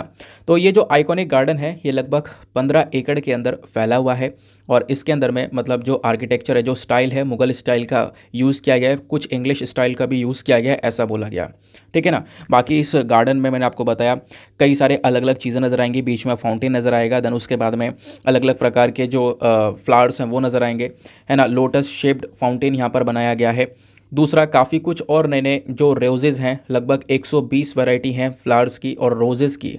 जो रोज़ हैं रोज़ फ्लावर्स की 120 वैरायटीज़ आपको देखने को मिल जाएँगी, वो सब चीज़ें यहाँ पर इस गार्डन के अंदर प्रेजेंट है। तो इस गार्डन को डिज़ाइन किया गया था पर्शियन और मुगल स्टाइल में। ध्यान रखना पर्शियन और मुगल स्टाइल में। ये पूरा का पूरा मुगल स्टाइल में भी नहीं है गार्डन इसमें पर्शियन और मुगल दोनों को दोनों मिक्सचर आपको देखने को मिलेगा। तो एडविन लेटेंस जिन्होंने यहाँ पर इसको डिज़ाइन किया था तो बेसिकली यहाँ पर अब बोला जा रहा है कि हम लोग मतलब उन्होंने जब इसको डिज़ाइन किया था तो केवल मुगल आर्किटेक्चर का यूज़ नहीं है। इसमें कुछ और डिटेलिंग्स का इस्तेमाल किया गया है। और साल ब साल यहाँ पर इसके अंदर हर बार कुछ ना कुछ बदलाव होते हुए नज़र आए तो अब वो वाला आर्किटेक्चर ये रह भी नहीं गया है। जिसके बेसिस पर इसका नाम चेंज कर दिया गया है और यहाँ पे नाम चेंज कर कर मुगल गार्डन्स का नाम चेंज कर कर अमृत उद्यान रख दिया गया है। ठीक है? बात क्लियर हो गई? तो डायरेक्टली वनडे एग्जामिनेशन में आपसे क्वेश्चन बन सकता है कि मुगल गार्डन का नाम बदल करके क्या रखा गया? अमृत उद्यान रखा गया। आगे आते हैं। Now next important news article पर आते हैं। अगला article GS paper number three environment के पॉइंट ऑफ़ व्यू से काफ़ी ज़्यादा रेलिवेंट होने वाला है। नोबल्स हेलन नोबल्स हेलन किसी का नाम नहीं है, ये एक बटरफ्लाई का नाम है, एक तितली का नाम है। तो एक बहुत आप कह सकते हो यूनिक प्रकार की तितली है। बहुत कमी से देखने को मिलती है, कई सारे देशों में ख़त्म हो चुकी है। तो अरुणाचल प्रदेश की यहाँ पर आप कह सकते हो कि एक नई बटरफ्लाई ये देखने को मिल रही है। अरुणाचल प्रदेश से बेसिकली पाई गई है। अरुणाचल प्रदेश में एक पार्क है, जिसको हम लोग बोलते हैं नमदापा नेशनल पार्क है ना? वहीं पर ये बटरफ्लाई पाई गई है। तो इंडिया की एक नई, आप कह सकते हो कि स्पीशी है ये, जो कि बहुत ज़्यादा इंपॉर्टेंट है। इसका नाम मतलब नाम क्या है? नाम तो मैंने आपको बताया नोबल्स हेलन इसका नाम है। तो स्वालो टेल बटरफ्लाई ये है, जो कि पिछले कुछ समय पर काफ़ी ज़्यादा ख़त्म हो चुके हैं दुनिया भर से। म्यांमार में, चाइना में, वियतनाम में वियतनाम में, चलो अभी थोड़ी बहुत दिखाई पड़ती है, लेकिन बहुत रेयरली बहुत मुश्किल से। तो इन सब कंट्रीज़ के अंदर पहले तो पाई जाती थी अभी के समय पर ये ख़त्म हो चुकी है। लेकिन पहली बार ये इंडिया के अंदर देखने को मिली थी। तो पहली बार इंडिया में कहाँ पर देखने को मिली है? अरुणाचल प्रदेश के नमदापा नेशनल पार्क में। तो आपसे क्वेश्चन बन सकता है नोबल हेलन नाम की बटरफ्लाई कहाँ पर देखने को मिली थी? अरुणाचल प्रदेश के नमदापा नेशनल पार्क में। आपको मैं बता दूँ ऐसे नहीं बोल रहा हूँ मैं हिलॉक को लेकर एक क्वेश्चन पूछा गया था है ना? गिबों हिलॉक को लेकर क्वेश्चन पूछा गया था क्योंकि वो न, वो भी नमदापा नेशनल पार्क में पाया जाता है और ये सिमिलर क्वेश्चन था। ठीक है तो इस बात का ध्यान में रखना। तो नोबल्स हेलेन का साइंटिफिक नेम क्या है? साइंटिफिक नेम है पपिलियो नोबली। ठीक है ना? तो अरुणाचल प्रदेश के नमदापा नेशनल पार्क में खासकर तीन जगह पर यह पाई गई और सितंबर 2021 के अंदर ही यहाँ पर इसके बारे में सारी सारी जो इन्फॉर्मेशन है वो हमें मिल चुकी थी। पिछले कुछ समय में थाईलैंड के अंदर तो चलो देखने को मिलती है कभी कभी लेकिन उसके बाद म्यांमार, चाइना जैसे देशों में पाई जाती थी, वहाँ पर पूरी तरह से ये ख़त्म हो चुकी है। इवन लाउस कैम्बोडिया जैसे देशों में भी पाई जाती थी, वहाँ से वो पूरी तरह से डिसअपेयर हो चुकी है। तो हमारे लिए बहुत रेलिवेंट चीज़ है कि एक ऐसी बटरफ्लाई जो कि बहुत मुश्किल से देखने को मिलती है, वो इंडिया के अंदर देखने को मिली है। या फिर पाई गई है इंडिया की एक नई बटरफ्लाई की कैटेगरी के अंदर इसको ऐड कर दिया गया है। ठीक है, बात क्लियर हो गई? इतना आपको समझ में आया। अब इसका थोड़ा सा बैकग्राउंड डेटा समझेंगे जो कि एग्जामिनेशन के अंदर हेल्प करेगा, क्योंकि ये तो आपने करंट इशू पढ़ लिया। इसको स्टैटिक पोर्शन से लिंक करना बहुत ज़्यादा इंपॉर्टेंट है। तो कॉन्टेक्स्ट तो आपको समझ में आ गया कि हाँ जो बटरफ्लाई एंथुसियास्ट हैं, कुछ लोग हैं, है ना, इन्होंने यहाँ पर इन बटरफ्लाई को रिकॉर्ड किया है नोबल्स हेलेन को रिकॉर्ड किया है नमदापा नेशनल पार्क के तीन जगह से। ये बात मैंने आपको समझा दिया। नोमदा जो नोबल्स हेलेन है, मैंने आपको कहाँ, बताया कहाँ कहाँ पर कौन कौन से देशों में पाई जाती थी, जो कि अभी नहीं है, अब पहली बार इंडिया में देखने को मिली है, अरुणाचल प्रदेश के नमदापा नेशनल पार्क में। तो पहली चीज़ तो नमदापा नेशनल पार्क के बारे में लोकेशन ही ध्यान रखना, यही पूछा जाएगा, मेजरली ये पूछा जाता है। क्योंकि पूरे साल में ढेर सारी लोकेशंस हो जाती हैं तो कन्फ्यूज़न क्रिएट हो जाता है। तो नमदापा ध्यान रखना, अरुणाचल प्रदेश के अंदर में है। ठीक है, बात क्लियर हो गई, आगे आते हैं। ये एक ऐसा नेशनल पार्क है जहाँ पर कई सारी अलग अलग बिग कैट की स्पीशीज़ पाई जाती हैं, यानी कि टाइगर्स की, जैसे मैं बात कर रहा हूँ, जैसे टाइगर हो गया लेपर्ड हो गया स्नो लेपर्ड हो गया क्लाउडेड लेपर्ड हो गया, ये सारी कैट की स्पीशीज़ में आते हैं बिग कैट की स्पीशीज़ में आते हैं, ये सारी की सारी स्पीशीज़ आपको नमदापा नेशनल पार्क में देखने को मिल जाती है। और यूपीएससी का एक क्वेश्चन था होलो गिबों के बारे में। तो होलो गिबो एक बेसिकली एप की स्पीशी है एप की स्पीशी आपको देखने को मिलेगी। ये इंडिया के अंदर पाई जाती है, कौन से नेशनल पार्क में, ये सवाल था। तो ये नमदापा नेशनल पार्क के अंदर ही पाई जाती है, होलो गिबों। ठीक है, बात क्लियर हो गई? नाउ कभी कभी आपसे और भी सरल क्वेश्चन बन जाता है। देख पाओगे यूपीएससी ने 2016 में एक क्वेश्चन पूछा था कि हाल ही में पहली बार हमारे देश में कौन सा राज्य है जिन्होंने एक पर्टिकुलर बटरफ्लाई को स्टेट बटरफ्लाई डिक्लेयर किया था? तो अरुणाचल प्रदेश, हिमाचल प्रदेश, कर्नाटका, महाराष्ट्र। तो इसका सही उत्तर है डी, महाराष्ट्र। ठीक है ना? तो ऐसे प्रश्न भी कभी कभी बन जाते हैं। कभी कभी बहुत सरल भी बन जाते हैं तो ध्यान रखना है। कुछ भी स्किप नहीं करना है। नेक्स्ट आर्टिकल पर आते हैं। नाउ नेक्स्ट इंपॉर्टेंट आर्टिकल आपको पता है संडे है। संडे में ना एडिटोरियल नहीं आते हैं साइंस एंड टेक आता है। साइंस के कुछ आर्टिकल्स आते हैं, दो आर्टिकल्स हैं, बहुत इंपॉर्टेंट है। दूसरा एडिटोरियल की जगह हमारे पास में फ्रीक्वेंट आज क्वेश्चन का आर्टिकल है, वो भी बहुत अच्छे आर्टिकल है। मतलब आप कह सकते हो एडिटोरियल्स हैं बेसिकली हमारे पास आज। तो वहाँ पर हम लोग चर्चा करेंगे, आगे उसके बारे में आपको बताऊँगा। लेकिन उससे पहले आते हैं इस वाले आर्टिकल पर। अब देखो, इसके पीछे की एक कहानी मैं आपको बताता हूँ। छब्बीस जनवरी को मैंने ये आर्टिकल के बेसिस पर एक थंबनेल पर जो थंबनेल है वो बनाया था। थंबनेल मैंने लिखा हुआ है, आपको पता होगा, नर्मदा वैली में डायनासोर के अंडे और घोंसले मिले। इस प्रकार का जो थंबनेल वो मैंने बनाया था। लिटरली यहाँ पर दो तीन लोग आते हैं कमेंट के अंदर और वो मेंशन करते हैं कि सर आप क्लिक बेट यूज़ करते हो बहुत ज़्यादा क्लिक बेट करते हो है ना? कि लोग यहाँ पे वीडियो को आ, क्लिक करके जो है इसके अंदर पहुँचें इस प्रकार का क्लिक बेट बहुत ज़्यादा करते हो। ऐसा कुछ भी नहीं था यार बिल्कुल रियल न्यूज़ थी वो कुछ भी नहीं था बिल्कुल रियलिटी थी। और आज देखो न्यूज़पेपर के अंदर द हिंदू के अंदर इस आर्टिकल को कवर किया गया है जो कि हमने तीन दिन पहले कवर कर लिया था छब्बीस जनवरी को ठीक है ना? तो ये यहाँ पर बताया गया है कि नब्बे फॉसिल नेट्स जो है ना ये इंडिया के सबसे बड़े डायनासोर को बिलोंग बिलोंग करते हैं। ये फॉसिल नेट्स यहाँ पर पाए गए हैं। कहाँ पर पाए गए? नर्मदा वैली, यानी मध्य प्रदेश के अंदर में। तो रिसर्चर्स ने अनकवर किया या फिर आप कह सकते हो डिस्कवर किया है 92 नेस्टिंग साइट्स को, जहाँ पर डायनासोर अंडे दिया करते थे। और लगभग दो अंडे मिले भी हैं 256 फॉसिल एग्स मिले हैं नर्मदा वैली के अंदर में। ये कौन से डायनासोर के हैं? टाइटोनोसोरस के, आपको याद होगा, मैंने टाइटोनोसोरस के बारे में आपको बताया था। तो टाइटोनोसोरस के अंडे यहाँ पर आप कह सकते हो, ये पाए गए हैं। नर्मदा वैली से। ठीक है? ये जो डायनासोर है, ये क्रिटेशियस पीरियड को बिलोंग करता है, नहीं, आज से लगभग 145 से लेकर 66 मिलियन ईयर्स अगो तो इतना समय पुराना वो क्रिटेशियस पीरियड कहलाता था, उस समय के ये डायनासोर हैं, जिसको हम लोग बोलते हैं टाइटेनोसोरस क्या? टाइटोनोसोरस और ख़ास बात यहाँ पर यह कि जो अंडे पाए गए ना, इन अंडों की भी अलग अलग वेराइटी हैं।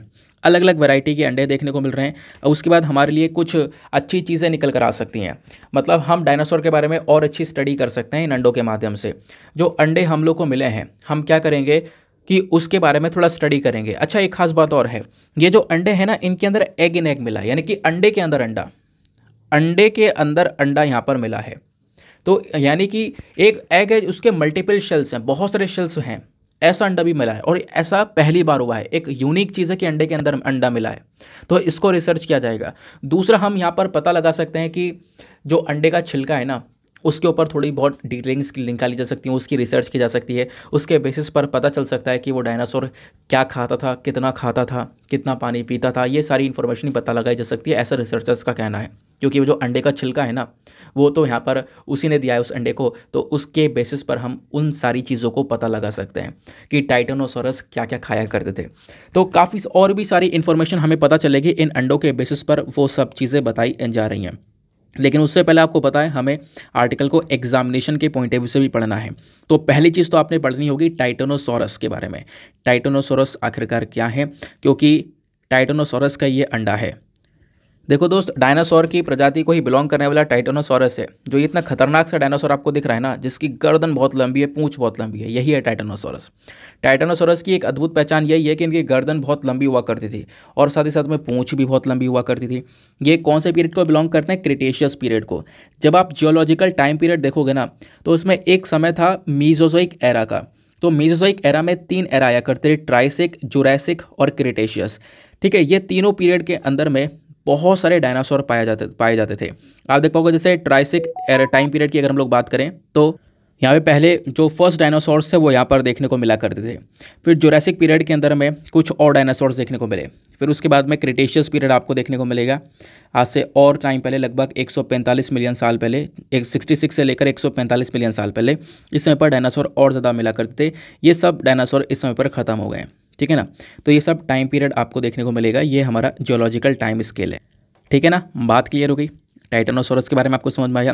तो टाइटनोसोरस के बारे में आपको बता दिया कि इनके पैर बहुत लंबे हुआ करते थे प्लस गर्दन और पूंछ भी बहुत लंबी हुआ करती थी। बड़े साइज़ के यहाँ पर ही देखने को मिला करते थे। कब से बिलोंग करते थे? टाइम पीरियड में मैंने आपको बता दिया। अब ये टाइटनोसोरस भी बेसिकली सौरोपोड ग्रुप को बिलोंग कर, कर, करते थे। सौरोपोड भी वही वाले जानवर है जिनकी गर्दन बहुत लंबी है जो ऊपर सर है वो छोटा सा है, पैर बहुत लंबे लंबे हैं और पूँछ बहुत लंबी लंबी है। ठीक है ना? अभी आपको पता होगा सौरोपोर्ड के कुछ फॉसिल्स कुछ हड्डियाँ पाई गई थी मेघालय से। उसके बाद में यहाँ पे गुजरात के अंदर, मध्य प्रदेश, महाराष्ट्र, तमिलनाडु के अंदर भी हम लोगों ने सौरोपोड ये जो डायनासोर है, इसके कुछ हड्डियों को हम लोगों ने खोजा था। है ना? इस वजह से सौरोपोड चर्चा में था। बाकी इंडिया के अंदर डायनासोर्स की बात करें तो डायनासोर्स एग्जिस्ट किया करते थे भारत के अंदर भी। लगभग ट्राइसिक पीरियड के समय तक आप कह सकते हो कि ये जो डायनासोर्स है, वो इंडिया में भी एग्जिट किया करते थे एग्जिस्ट कर, किया करते थे, ये बात यहाँ पर बताई जा रही है। तो क्रिटेशियस पीरियड तक ट्राइसिक पीरियड से क्रिटेशियस पीरियड तक आप देखोगे डायनासोर इंडिया में भी थे और खासकर कुछ डायनासोर ऐसे थे जो कि भारत से ओरिजिनेट हुए, जिसका नाम था राजासोरस राजासोरस यहाँ पर डायनासोर इंडिया में ही ओरिजिनेट हुआ था। इंडिया में जितने भी डायनासोर्स ओरिजिनेट हुए हैं इंडिया के डायनासोर जितने भी देखने को मिलेंगे, इसमें से जो सबसे बड़े साइज़ वाला डायनासोर था वो कौन सा था? वो था बारह पास बारह पासोरस ठीक है? बारह पासोरस ये जो है सबसे बड़े साइज़ का डायनासोर हुआ करता था। लगभग बोला जा रहा है कि ये चार मीटर ऊँचा और 24 मीटर लेंथ में आपको ये डायनासोर देखने को मिला करता था। और जो सबसे खतरनाक डायनासोर था डेंजरस था, और देखने भी बहुत ज़्यादा खतरनाक खतरनाक लगता था, वो था टायरेनोसोरस रेक्स ठीक है ना? ये चीज़, ये इंडिया के अंदर देखने को मिला करते थे, ठीक है? अब आपको पता है डायनासोर खत्म कैसे हो गया पृथ्वी पर? पहले तो बहुत कुछ था, लेकिन ख़त्म हुए उसके पीछे का यहाँ पर एक था, वो मीटियोराइट का इम्पैक्ट था। मीटियोराइट आपको पता होगा ना, अभी कुछ दिन पहले मैंने आपको पढ़ाया भी था, अंतरिक्ष में एस्ट्रोराइड होता है, एक बड़ा सा बड़ा सा रॉक का साइज़ जो है ऊपर अंतरिक्ष से गिरा था, और उसके चक्कर में, उसके गिरने की वजह से ना, जितना इम्पैक्ट गिरने के गिरने की वजह से पड़ा है, वो बहुत ज़्यादा था। गिरते ही क्या होता है, तापमान बहुत तेज़ी से बढ़ जाता है, पूरी तरह से यहाँ पर आग लग जाती है, जिसके चक्कर में यहाँ पर डायनासोर ख़त्म हो जाते हैं। दूसरा यहाँ पर एक इम्पैक्ट ये भी पड़ता है कि जो बच जाते हैं वो भुखमरी की वजह से मर जाते हैं, क्योंकि जब वो सब कुछ जल गया, तबाह हो गया, ख़त्म हो गया, एक बहुत बड़ा चेंज हुआ क्लाइमेट के अंदर में, सब कुछ यहाँ पे गर्मी की वजह से ख़त्म हो गया, सूखा पड़ गया था। तो जब डायनासोर को कुछ फ़ूड मिला नहीं, कुछ यहाँ पर उसकी वजह से भी मर गए। ठीक है तो इसकी एक पूरी कहानी है, मैंने कई बार आपको पढ़ा रखी आपको पता होगा थंबनेल पे लगा रखा है, कभी मैं आपको फिर से बताऊँगा डिटेल से बट अभी के लिए इतना समझ लो। ठीक है, आगे आते हैं। तो दोस्त, जो भी मैं आपको बैकग्राउंड डेटा बताता हुआ चल रहा हूँ प्लीज़ उसके ऊपर ज़रूर फोकस करना, क्योंकि वही है जहाँ से एग्जामिनेशन में आपसे सवाल बनेंगे। ठीक है? चलो, आते हैं उसके बाद में नेक्स्ट इंपॉर्टेंट न्यूज़ आर्टिकल पर। तो संडे में मैंने बोला एडिटोरियल नहीं आते हैं, लेकिन फ्रीक्वेंट आज क्वेश्चन एक आता है पूरा का पूरा पेज तो ये आप कह सकते हो हमारे एडिटोरियल ही हैं। तो यहाँ पे क्या कहानी है, आओ समझते हैं। सबसे पहला आर्टिकल ये वाला है। Why is Supreme Court examining marriage laws for minors एक कंट्रोवर्सी चल रही है जनवरी के महीने से। अब उसी को रिजॉल्व करने के लिए सुप्रीम कोर्ट बैठा है। सुप्रीम कोर्ट यहाँ पर जल्दी इस केस को देखने वाला है। देखो, होता क्या है कि आज के समय में अगर मैं आपसे पूछूँ कि चाइल्ड मैरिज यानी बाल विवाह क्या है तो आप कहोगे कि लड़की की जैसे यहाँ पर 18 साल मिनिमम एज है और लड़के की 21 साल मिनिमम एज है। है ना? जो लड़की है, जो फीमेल है, उसकी 18 साल मिनिमम एज और लड़के की 21 साल मिनिमम एज यानी ये शादी के लिए लीगल एज है। इस इस उम्र में या इसके बाद शादी कर दो, ठीक है नॉर्मल है। इससे कम उम्र में, यानी अट्ठारह साल से कम उम्र में शादी हो रही है, पंद्रह में हो रही है, चौदह में हो रही है, सत्रह में हो रही है तो वो बाल विवाह कहलाएगा। सबको पता है। चलो, आगे आते हैं, अब इसकी कहानी को आगे बढ़ाते हैं। अब कई सारे, आपको पता है कि पर्सनल लॉज हैं। भारत के अंदर में ढेर सारे अलग अलग रिलीजन हैं। अलग अलग यहाँ पर आपको रिलीजन देखने को मिलेंगे जो कि प्रैक्टिस किए जाते हैं। दूसरी चीज़ यहाँ पर क्या है ना कि उन रिलीजन के अलग अलग पर्सनल लॉज हैं। शादी को लेकर आप देखोगे, जैसे हिंदू मैरिज एक्ट आपको देखने को मिलेगा। इसी प्रकार से और भी हैं। इंडियन क्रिश्चियन मैरिज एक्ट 1872 आपको देखने को मिलेगा। Parsi Marriage and Divorce Act 1936 है। स्पेशल मैरिज एक्ट 1954 है। हिंदू मैरिज एक्ट 1955 है। इस प्रकार से कई सारे एक्ट्स आपको देखने को मिलेंगे। और इसी प्रकार से यहाँ पर मुस्लिम एक्ट भी आपको देखने को मिलेगा। मतलब मुस्लिम पर्सनल लॉ आपको देखने को मिलेगा। ठीक है? तो यहाँ पे बोला यह जा रहा है कि जो नेशनल कमीशन फॉर वेमेन है और एनसीपीसीआर है, ये दो बॉडीज़ का नाम ध्यान रखना। नेशनल कमीशन वेमेन, जो कि वेमेन की सुरक्षा के लिए काम कर रहा है। दूसरा एनसीपीसीआर की फुल फॉर्म क्या है? National Commission for Protection of Child Rights. जो बच्चों के हक हैं, जो बच्चों के राइट्स हैं, उनकी सुरक्षा करने का काम करता है एनसीपीसीआर ये दोनों पहुँच गए सुप्रीम कोर्ट के अंदर, पटिशन लेकर। सुप्रीम कोर्ट से यहाँ पर इन्होंने कहा कि अगर आप इंडिया के अंदर अलग अलग रिलीजन के पर्सनल लॉस को देखते हो फॉर एग्ज़ाम्पल इंडिया का Christian Marriage Act 1872 Parsi Marriage and Divorce Act 1936 Special Marriage Act 1954 Hindu Marriage Act 1955 ये जितने भी आपको एक्ट दिख रहे हैं ना, इन एक्ट में एक चीज़ कॉमन है। कॉमन यह है कि लड़के की उम्र मिनिमम 18 होनी चाहिए और लड़के की 21 ये लीगल एज है शादी की। इस उम्र में यहाँ पर शादी की जा सकती है, इस उम्र या इस उम्र के बाद।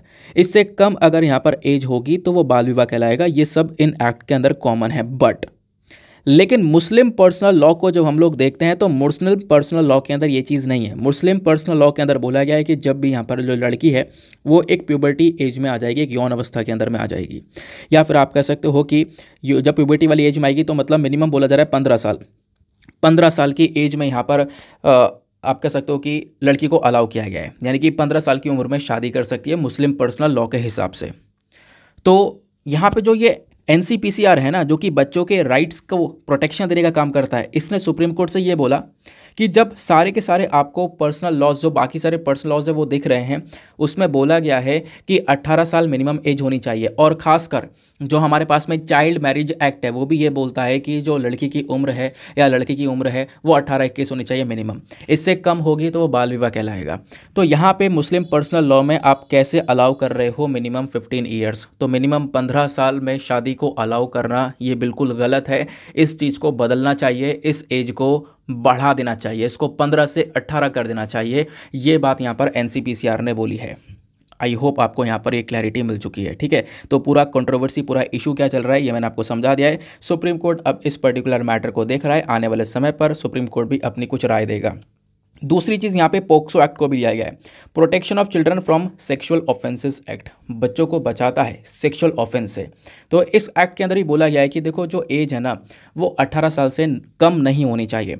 और एनसीपीसीआर ने इसी चीज़ का आर्गूमेंट किया है कि जब यहाँ पर लड़की की उम्र चौदह पंद्रह साल है और यहाँ पर आप शादी कर रहे हो तो कहीं ना कहीं ये पोक्सो एक्ट के खिलाफ जा रहा है। और बाकी यहाँ पर जो इंडिया के अंदर लॉज हैं, वो उनके सबके खिलाफ जा रहा है। चाइल्ड मैरिज की कैटेगरी के अंदर ये आ रहा है तो इसके अंदर एक बदलाव होना बहुत ज़्यादा ज़रूरी है।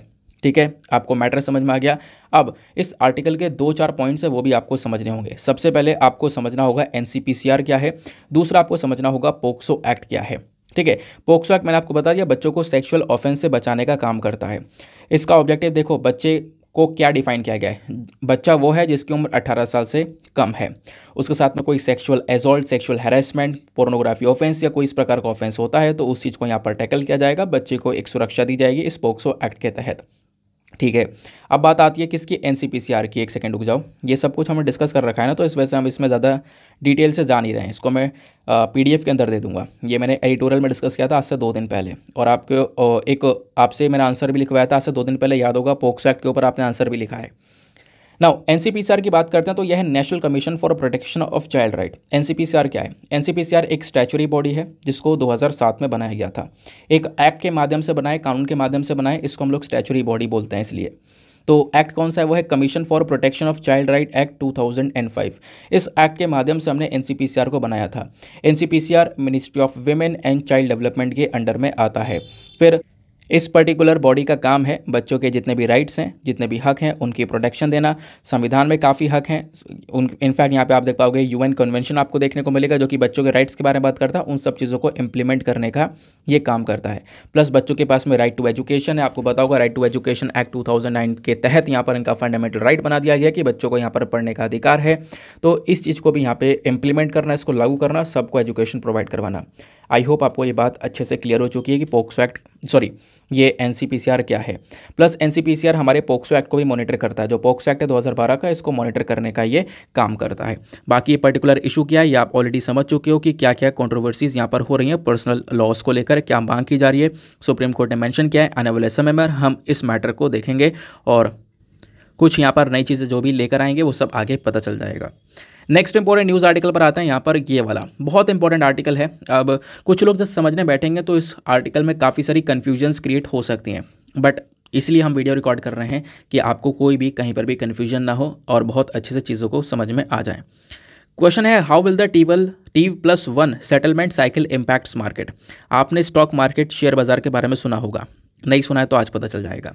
तो जो शेयर मार्केट होता है ना, उसके अंदर अभी तक हम लोग अलग अलग सेटलमेंट्स का यूज़ किया करते थे। अब यहाँ पे सेबी ने लागू कर दिया है टी प्लस वन सेटलमेंट को। तो टी प्लस वन सेटलमेंट हमारे शेयर मार्केट के अंदर लागू हो चुका है। तो वही समझेंगे टी प्लस वन सेटलमेंट क्या है प्लस इसका इम्पैक्ट हमारे मार्केट के ऊपर क्या पड़ेगा। ठीक है, चलो जी। आओ डिस्कस करते हैं। तो 27 जनवरी को स्टॉक मार्केट जो है इंडिया के अंदर में, ये T plus settle one settlement को लागू कर चुका है।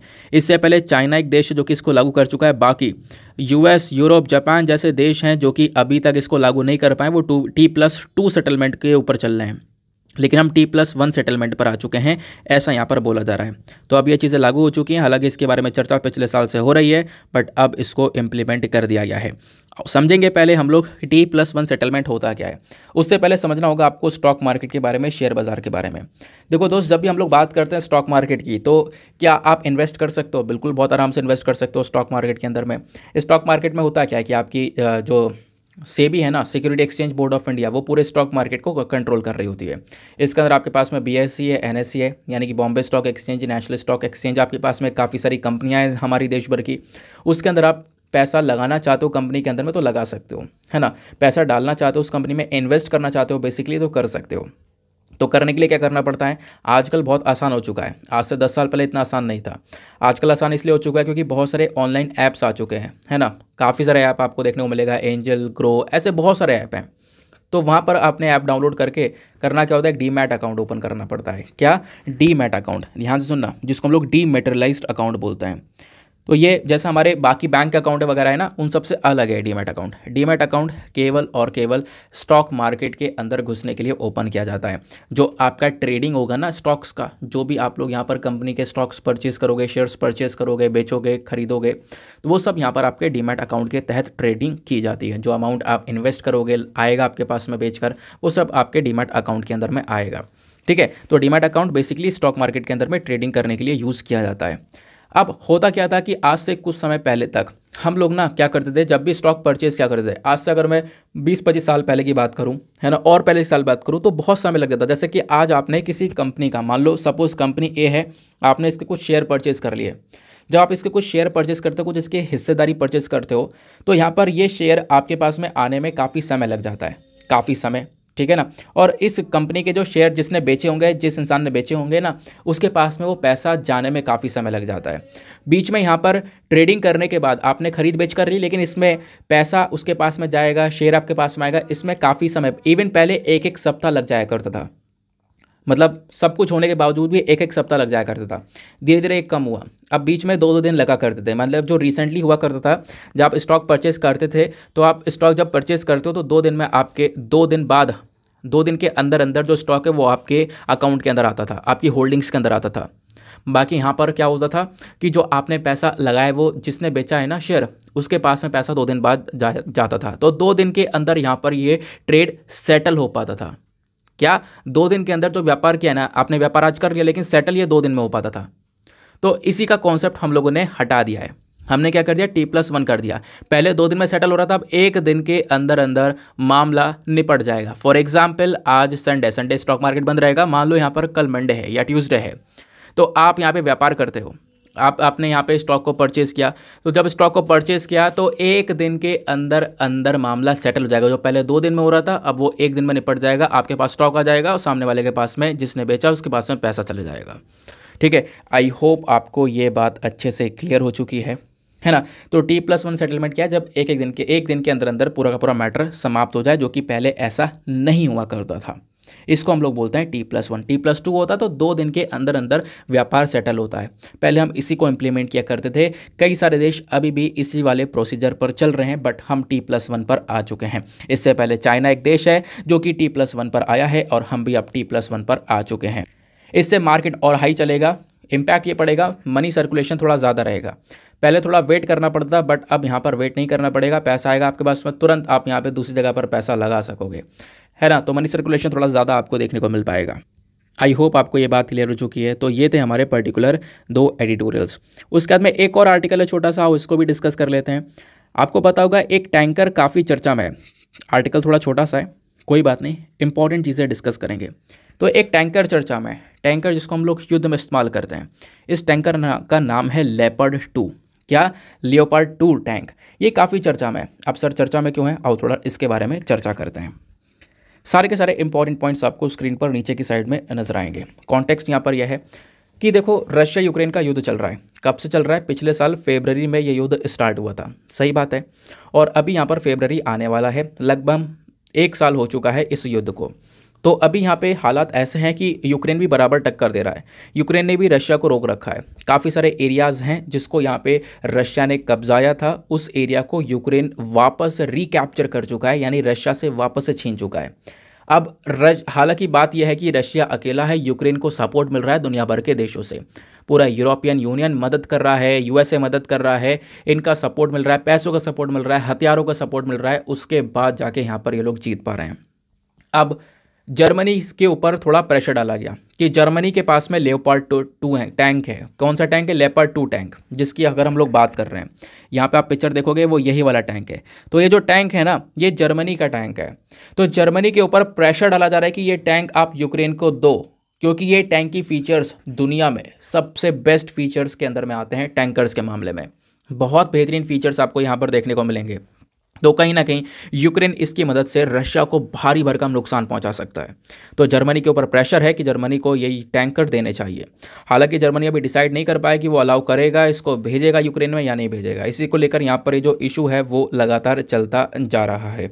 आई होप आपको क्लियर हो चुका है। लेकिन एग्जामिनेशन में जो सर आपसे सवाल पूछा जाएगा ना, वो डायरेक्टली इसके बारे में पूछा जाएगा। आपसे पूछ लिया जाएगा लेपर टू रिसेंटली न्यूज़ में था। क्या है ये? आप लिखे आओगे एनिमल है है ना? अगर इसके बारे में नहीं पढ़ा है तो। तो ध्यान रखना, यहाँ पर ये एक टैंकर है। तो जर्मन मेड बैटल टैंक है, यानी जर्मनी ने यहाँ पर इसको बनाया है, खासकर जर्मनी की एक कंपनी है, क्रॉस माफाई वैगमैन। इसके थ्रू यहाँ पर इसको बनाया गया है। ये जो लेपर्ड है, सबसे पहली बार बनाया गया था नाइनटीन में वेस्ट जर्मनी आर्मी के लिए। ठीक है ना? जो सोवियत यूनियन का खतरा था, यानी कि जो कोल्ड वॉर चल रहा था शीत युद्ध चल रहा था, उसके अंदर, उस दौरान यहाँ पर सबसे पहला लेपर्ड टैंक को बनाया गया था। बाद में इसका सेकंड वर्जन लेकर आए। लेपर्ड टू यहाँ पर दुनिया का एक सबसे लीडिंग बैटल टैंक्स के अंदर में आता है, मैंने आपको बताया दुनिया में। जितने भी टैंकर्स हैं, उसमें से one of the best tank की कैटेगरी में आता है। इसके बेस्ट फीचर्स आपको देखने को मिलेंगे। और खासकर जर्मनी आर्मी इसको इस्तेमाल भी करती है। जर्मन आर्मी यूज़ कर रही है, बहुत लंबे समय से, दशकों से यहाँ पर यूज़ कर रही है। इनकी मिलिट्रीज़ यूज़ कर रही हैं यूरोपियन यूनियन के नेशंस यूज़ कर रहे हैं इवन कनाडा इंडोनेशिया जैसे देश भी यहाँ पर इस टैंकर का यूज़ कर रहे हैं। इन टैंकर को आज के समय पर भी यूज़ किया जा रहा है। आपको पता है, देश में सॉरी दुनिया में कई सारे देशों के साथ में कॉन्फ्लिक्ट है। फॉर अफ़गानिस्तान आप देखोगे अफ़गानिस्तान में है कोसोवो में है सीरिया में है। यहाँ पर जितनी भी लड़ाइयाँ हो रही हैं ना, वहाँ पर ये टैंकर अपनी सर्विस दे ही रहे हैं ऑलरेडी तो इसी वजह से यहाँ पर बोला जा रहा है कि इस टैंकर को यूक्रेन के पास भी पहुँचाया जाए। इस टैंकर के अपने आप में कुछ इंपॉर्टेंट फीचर्स देखने को मिल जाते हैं। वो फीचर्स क्या हैं? जैसे कि यहाँ पर कुछ एडवांस लेवल की गन देखने को मिलेगी, तोप देखने को मिलेगी, है ना? लाइट मशीन गन्स देखने को मिलेगी और उससे इंपॉर्टेंट बात यहाँ पर यह है कि इस टैंकर को एक प्रोटेक्शन दी गई है। टैंकर इतने बेहतरीन तरीके से बनाया हुआ है कि इसके ऊपर माइन का कोई असर नहीं पड़ेगा। पता है टैंक को उड़ाना, दुश्मन के टैंक को उड़ाना बहुत उड़ाना, बहुत आसान हुआ करता था। कैसे? आप ज़मीन के अंदर माइन बिछा दो। ज़मीन के अंदर जो गोल कलर की माइन होती है ना, आपको पता होगा, वो लगा दो। अब ज़मीन में अपने माइन जब लगा दिए ना लाइन से आप लगा दो। टैंक आएगा, उस पर से गुजरेगा, जैसे उस पर वज़न पड़ेगा, वो माइन ब्लास्ट हो जाएगी। माइन जैसी वो एक्सप्लोड होगी, वो टैंकर को उड़ा ले जाएगी साथ में। तो ऐसा हुआ करता था। और इसके बेसिस पर टैंक इतने सक्सेसफुल साबित नहीं हुआ करते थे, लेकिन अब टैंक ऐसे बनने लगे हैं जो उस माइन को टक्कर दे सकें उसमें से एक टैंक लेपर्ड टू टैंक है। ये एंटी माइन टैंक आपको देखने को मिलेगा। कितनी माइन आप बिछा लो, उसके ऊपर से गुजर जाएगा, इस टैंक के ऊपर कुछ नहीं होने वाला। ठीक है ना? ये कहीं ना कहीं एक आप कह सकते हो कि इंप्रूवमेंट हुआ है इस पर्टिकुलर टेक्नोलॉजी के अंदर में। तो सवाल बन सकता है। अच्छा सवाल कैसे बन सकता है? फॉर एग्ज़ाम्पल आप देखो यूपीएससी ने 2018 में, ज़्यादा पुराना सवाल नहीं है, लेकिन 2018 में पूछा गया था what is THAAD Terminal High Altitude Area Defence ये जो थार्ड है ना, ये कभी कभी न्यूज़ में देखने को मिलता है। बताओ आखिरकार ये थार्ड क्या है? ऑप्शन ए एक इजरायली रडार सिस्टम इंडिया का indigenous anti missile programme America America का एंटी मिसाइल सिस्टम या फिर एक defence collaboration between Japan and South Korea तो इसका सही उत्तर है ऑप्शन नंबर सी अमेरिका का एंटी मिसाइल सिस्टम तो लेपर्ड टू क्या है? एक अमेरिका का एंटी मिसाइल सिस्टम है, ठीक है ना? बात क्लियर हो गई? तो ये थे आज के हमारे सारे के सारे आर्टिकल्स अच्छा एक आर्टिकल यहाँ पर रह जा रहा है ना? ये वाला हम छोड़कर जा रहे थे। कोई बात नहीं, नज़र पड़ गई है, अब कवर कर लेंगे। बात की जा रही है ब्रेस्ट कैंसर के बारे में, ठीक है ना? तो वेमेन के ब्रेस्ट में जो ये कैंसर होता है ना, ये कहीं ना कहीं बहुत ज़्यादा प्रॉब्लमेटिक है। दुनिया भर में एक सबसे बड़े वाले कैंसर की कैटेगरी में इसको रखा जाता है। तो बोला जा रहा है कि यहाँ पे एक हार्मोनल थेरेपी है जो कि इस कैंसर को ठीक कर सकती है। वो थेरेपी कौन सी है? उसका नाम है प्रोजेस्टेरोन ट्रीटमेंट क्या नाम है? प्रोजेस्टेरोन ट्रीटमेंट तो यहाँ पे बोला जा रहा है कि जब ब्रेस्ट कैंसर की सर्जरी करवाई जाती है ना, उस सर्जरी से पहले यहाँ पर प्रोजेस्टेरोन ट्रीटमेंट दिया जाए, यानी कि ये जो ट्रीटमेंट है, ये दिया जाए, इस हार्मोन को डाला जाए वेमेन के अंदर में तो कहीं ना कहीं यहाँ पर वेमेन का जो सर्वाइवल रेट होता है, जीने रहने की, ज़िंदा रहने की जो यहाँ पर आप कह सकते हो कि एक कैपेबिलिटी एक पॉसिबिलिटी है ना, वो काफ़ी बढ़ जाती है। तो आपसे पूछा जा सकता है हार्मोन थेरेपी के बारे में। हालाँकि इसके अंदर डिटेल से मत जाओ बहुत ज़्यादा कॉम्प्लेक्स चीज़ें हैं समझने में काफ़ी मुश्किल हो जाएगा आपसे इतनी कॉम्प्लेक्सिटी पूछी नहीं जाती है चाहे आप कितना ही पुराना पेपर देख लो। ठीक है ना? तो यहाँ पे बस इतना ही ध्यान रखना आ, बात की जा रही है प्रोजेस्टेरोन ट्रीटमेंट की। जो प्रोजेस्टेरोन ट्रीटमेंट है इसको अगर हम लोग ब्रेस्ट कैंसर सर्जरी से पहले दे दें तो इस ट्रीटमेंट के माध्यम से कहीं ना कहीं जो ब्रेस्ट कैंसर का पेशेंट है वो थोड़ा लंबे समय तक सर्वाइव कर सकता है वो बात बताई जा रही है। दूसरा, आप लोग जब ब्रेस्ट कैंसर के बारे में जानने की कोशिश करोगे तो वर्ल्ड हेल्थ ऑर्गेनाइजेशन ने एक डेटा पब्लिश किया है। इन्होंने बताया कि देखो, जो ब्रेस्ट कैंसर है कहीं ना कहीं एक सबसे ज़्यादा फॉर्म मतलब होने वाला ये कैंसर है। Most form of cancer situation में आप देख पाओगे ब्रेस्ट कैंसर जो कि सबसे ज़्यादा महिलाओं को परेशान कर रहा है आज के समय में। जो नंबर ऑफ़ ब्रेस्ट कैंसर है वो लगातार भारत में इंक्रीज़ हो रहे हैं और एक अंदाज़ा लगाया जा रहा है 2025 तक तेरह परसेंट तक ये ब्रेस्ट कैंसर इंक्रीज़ हो जाएँगे। ये डब्ल्यूएचओ ने प्रोडिक्शन किया है? ब्रेस्ट कैंसर के जो इंसिडेंसेस है वो हमारे देश में कहाँ कहाँ पर सबसे ज़्यादा हाई हैं तो हैदराबाद के डिस्ट्रिक्ट में आपको देखने को मिलेगा, सबसे ज़्यादा हाई देखने को मिल जाते हैं। उसके बाद में एनसीआरपी 2020 ने रिकमेंडेशन दिया है कि ब्रेस्ट कैंसर से जो भी सफ़र कर रहा है, उसको रेगुलर स्क्रीनिंग करवानी चाहिए रेगुलर यहाँ पर उसकी टेस्टिंग करवाए हैं। अपने अच्छे बॉडी वेट को, यानी एक हेल्दी बॉडी वेट को मेंटेन करें, ऐसा ना हो कि मोटापा बहुत ज़्यादा हो जाए। फ़िज़िकल एक्टिविटी करते रहें, इससे यहाँ पर कहीं ना कहीं जो सर्वाइवल रेट वो बढ़ सकता है, कहीं ना कहीं यहाँ पर जो रिस्क है ब्रेस्ट कैंसर का, वो थोड़ा सा कम हो सकता है। तो ये ब्रेस्ट कैंसर को लेकर सारा का सारा डेटा डब्ल्यू ने प्रोवाइड करवाया है। नाउ आते हैं हम लोग अपने आप प्रिलिम्स वाले क्वेश्चन के ऊपर देन उसके बाद में अपने लेक्चर को समाप्त करेंगे। आपसे पूछा गया था कि अर्थ के प्लानट के स्ट्रक्चर में मेंटल के नीचे जो कोर है, वो किस चीज़ से मिलकर बना हुआ है? तो मैंने आपको अभी थोड़ी देर पहले बता ही दिया था। इसका ऑप्शन दिया गया एल्यूमिनियम क्रोमियम आयरन सिलिकॉन तो इसका सही उत्तर है ऑप्शन नंबर सी आयरन ठीक है ना? तो आयरन अच्छा आयरन के अलावा और क्या क्या चीज़ें थी जिससे कोर बना हुआ है? आप नीचे कमेंट सेक्शन बता सकते हो। बिना वीडियो को आगे पीछे करे बताना है। अगर आपने वीडियो को बिना आगे पीछे किया बताया तो कहीं ना कहीं आप बहुत बिल्कुल कंसंट्रेशन के साथ में, सतर्कता के साथ में सुन रहे थे और ऐसा कंसंट्रेशन बहुत अल्टीमेट लेवल का होता है। यहाँ पर सिर्फ़ एक बार पढ़ने की ज़रूरत होती है, दोबारा देखने की ज़रूरत नहीं होती, अगर किसी का कंसंट्रेशन इतना अच्छा है तो। ठीक है ना? ये बात ध्यान रखना। बाकी प्रीलिम्स का क्वेश्चन मैं आपको बता ही चुका हूँ। मिलता है आप लोगों से अगले वीडियो में। आज के लिए bye bye have a nice day thank you and जय हिंद।